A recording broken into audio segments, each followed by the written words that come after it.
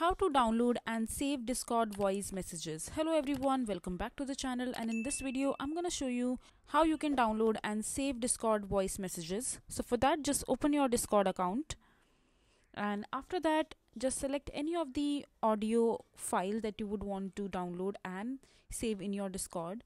So for example i want to download this particular audio file right here. So just click on this download icon from the uh, right hand side and as you can see that the, the file is started downloading and once it is done you can see in your file manager that the file has been successfully downloaded from your discord account to your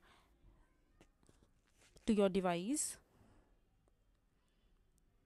here is the video on the top. So this is how you will be able to download and save Discord voice messages. I hope you find this video to be helpful. So that is it for this video. If you find this video to be helpful, make sure to hit that like button and don't forget to subscribe to our channel for more such informative videos and I'll see you the next time.